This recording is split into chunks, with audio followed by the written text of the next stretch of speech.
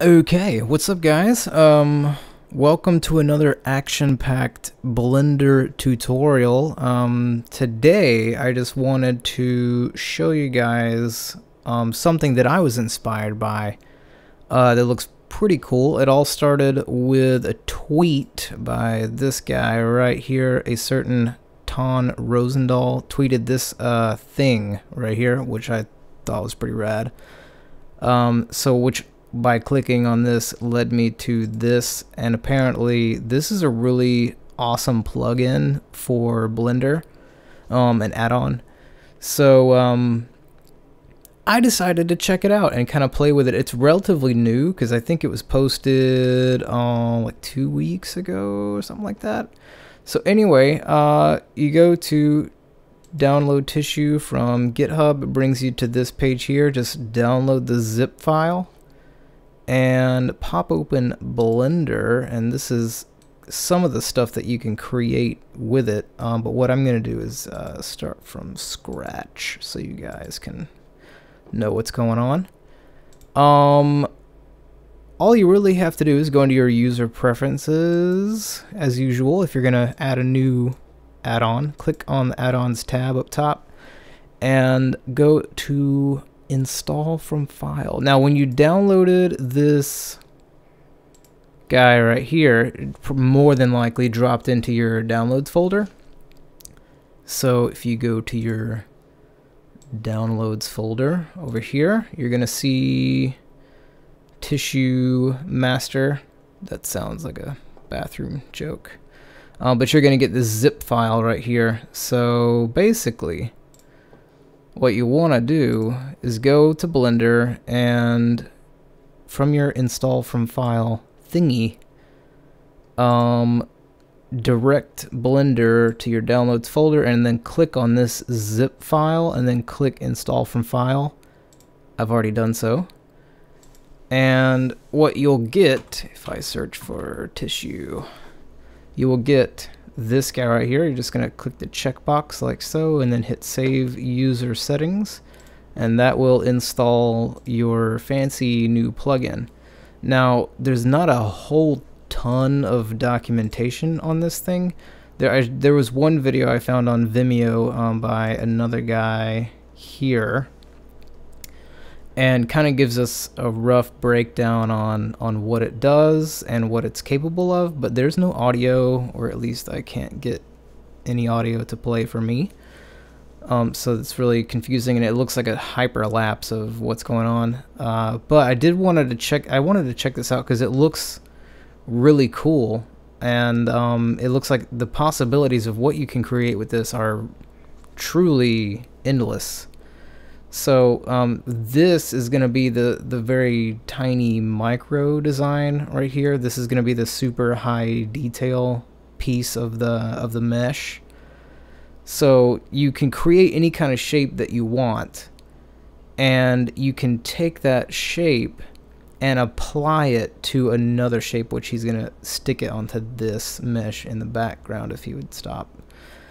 And um, that's where the tessellate button right here comes into play from what I understand.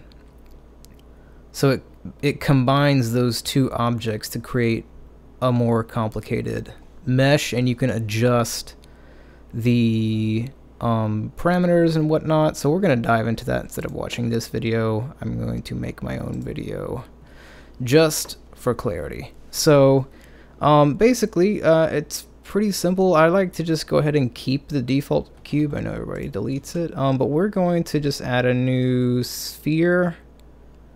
Actually, let's make it an icosphere and then make it tiny. So the way I understand is if you have your first object selected, you that's the object that you are going to stick onto another mesh. So you take this and then shift click the other one so you're going to take this object and stick it on here and then go over here. Here's your new add-on that you just added. Uh, there's a new tissue tab right there. There are so many bathroom jokes about this, it's really bad. Maybe they should consider a new name. Um, but up here, click tessellate, and it'll take a minute to do what it does. And then from there, actually, you can grab that out. So it kind of shows you exactly how it took the icosphere and then made it in the form of a cube. And I'm pretty sure you can get uh, some other parameters other than translate.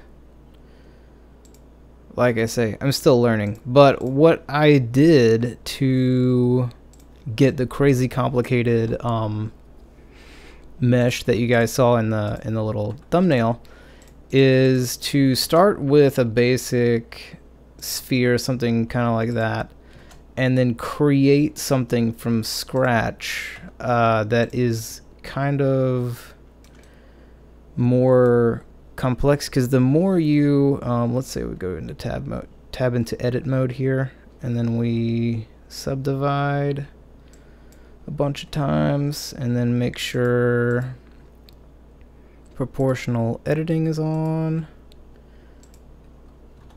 And just kind of make something I don't know what I'm doing exactly. Something kind of like that. And then if we put our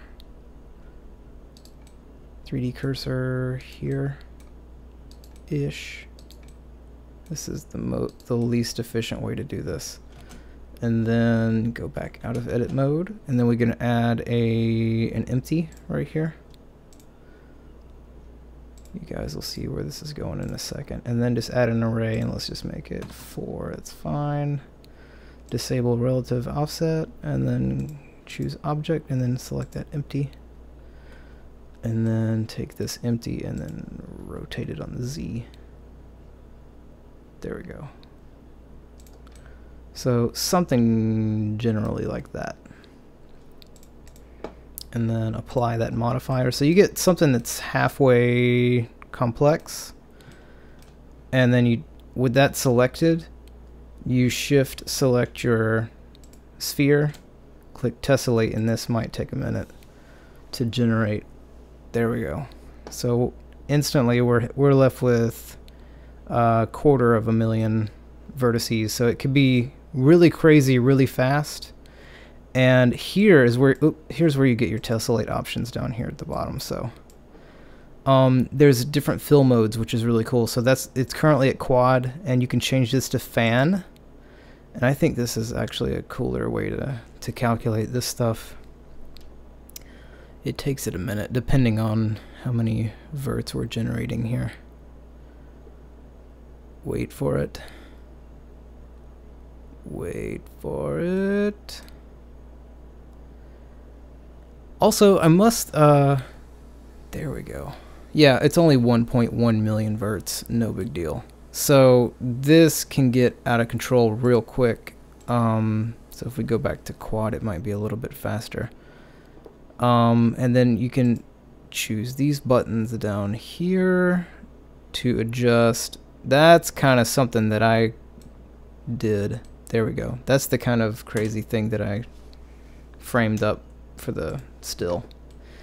Um, but anyway, you can go nuts with this and create a ton of really cool organic shapes, uh, like a lot of um, what was used in the, uh, let's see, this guy here.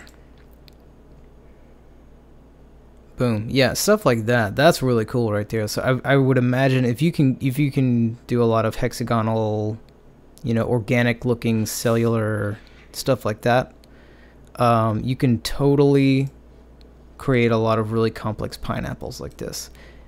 Anyway, uh, that's all I got for now. Uh, that was just my little quick tip of the past little bit because I know I hadn't posted anything in a long while. But anyway, that's all I have for you guys, and I love each and every one of you. Peace out. You guys have fun.